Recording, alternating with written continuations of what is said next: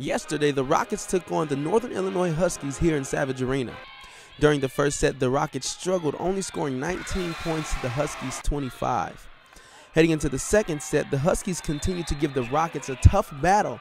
That set ended with a final score of 25 21 Huskies.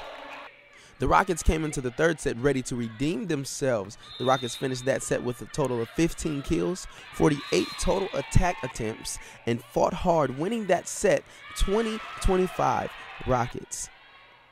In the fourth set, the Rockets fell short, losing that battle 25 21. Tonight, the Rockets take on the Western Michigan Broncos at 5 p.m. here in Savage Arena. See you at the game.